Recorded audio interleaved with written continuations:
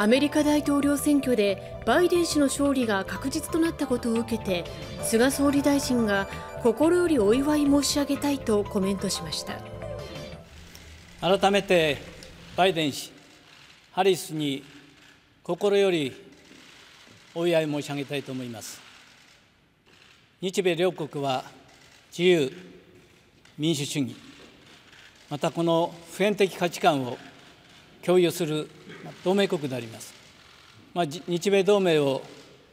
さらに強化なものにするために、そしてこのインド太平洋地域の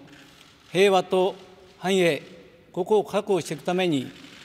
米国と共に取り組んでいきたい、このように思っています。